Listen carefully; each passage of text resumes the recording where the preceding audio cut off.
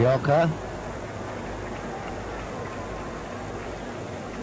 29 runs needed. Five overs, there are now in fact uh, 29 uh, deliveries.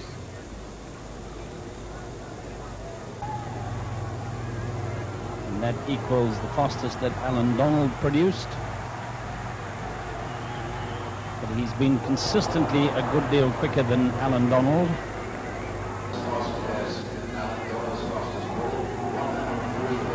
He has this extraordinary ability to put it up in the block hole.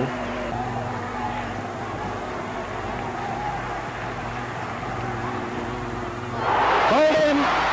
Yet another one of those fantastic express deliveries from Waqar Younis. And he is, at the moment, threatening to devastate South Africa.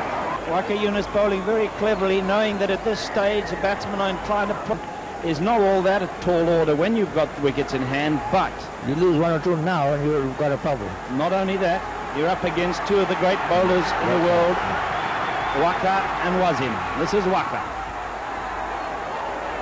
Jonty Rhodes is too eager to get down there. I don't think South Africa wants to run out now.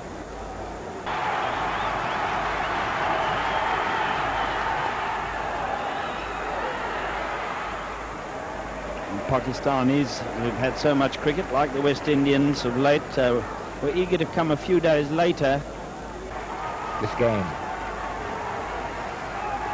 Last ball of Waqar's over. The run. third man is fairly fine, which is a sensible thing at the pace that he's bowling. Batsmen are not laying back and able to cut